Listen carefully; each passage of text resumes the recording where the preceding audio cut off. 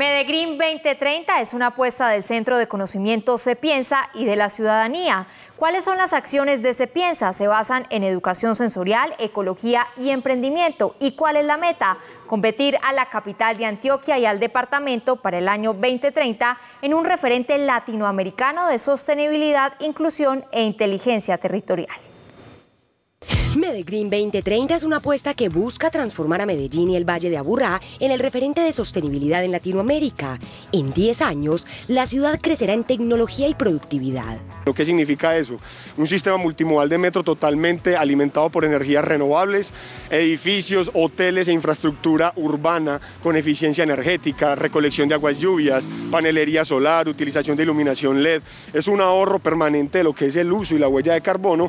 El proyecto asesora los grandes y pequeños proyectos de los ciudadanos y da soluciones transformadoras. Nosotros le solucionamos al habitante eh, del día a día problemas sencillos, como por ejemplo, en tu casa, en tu negocio, cómo mejorar la recolección de aguas, cómo tener un uso eficiente energético, cómo reducir tus servicios públicos y cómo tener un ecosistema digital que te permita vender tus productos. Medegreen tiene como visión ser la primera plataforma latinoamericana de posicionamiento de ciudades con carácter sostenible, innovador, incluyente y con alto valor tecnológico.